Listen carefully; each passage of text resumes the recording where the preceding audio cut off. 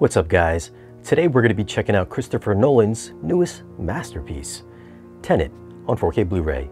This isn't going to be a movie review, I'm just going to be sharing my thoughts on the video and the audio quality. Before we get into it though, if you're new to the channel, we cover not only new 4K movies, but new audio and video gear for your home theater. So think about tapping that subscribe button for new weekly videos. Now let's go over a few tech specs. The movie was shot on 65mm and with IMAX cameras. It's rated PG-13. Runtime is 150 minutes. Aspect ratio is 239 by 1 and 178 by 1 for those IMAX shots. This is a great looking 4K transfer. As I just said, this does have the switching IMAX ratios, so it'll go from having black letterbox bars to going full screen. And no matter if you're viewing IMAX or non-IMAX scenes, this film is full of rich 4K crisp details. The close-ups are impeccable, which I'm sure you'd expect, and the backgrounds are equally as impressive. Little details can be seen from brick buildings, debris from explosive aftermaths, and those small textural details on costumes are perfectly rendered. I should also mention if you're a grain hater, you're gonna love the way this looks, because it's just clean from start to finish. There's some very faint grain in the non-IMAX stuff, but you've really got to be looking for it. I saw nothing in the IMAX scenes. It's very much like Dunkirk, one cool thing I noticed was the subtitle placement. If you're projecting on a scope screen and you're cropping the top and the bottom of the IMAX images, the subtitles are high enough to stay within the frame, so you're not going to lose the subtitles, which is a nice touch. HDR usage I found gave the image a nice boost in saturation over the standard Blu-ray, so your primaries are better, richer reds and blues and greens and everything in between. The film does have a natural color palette without any crazy vividness, well, except for the scene in Chapter 9, there's some great looking purples and reds that pop off the screen.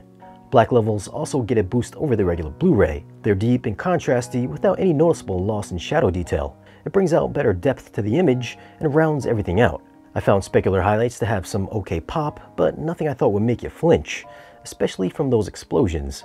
I mean, they do look good and have good vibrancy, and highlights aren't clipped, but overall picture brightness isn't a barn burner.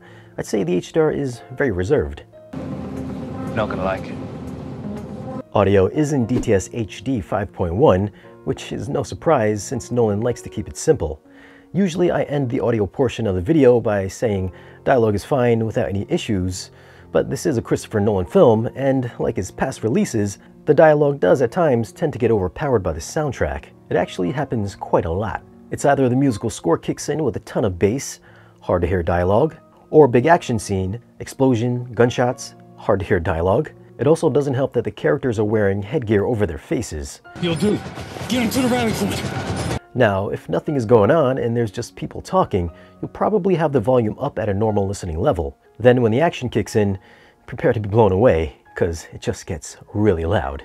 So you might find yourself with the remote in hand, always adjusting. Since this is a 5.1 mix, you won't be getting any overhead effects or anything coming from behind you, what you do get though is a very heavy, big, cinematic, instrumentally detailed soundstage. There's decent side channel surround activity from light ambiance like outdoor city sounds or cars zipping by during the car chase in chapter 8, and it's got good panning and good low end extension.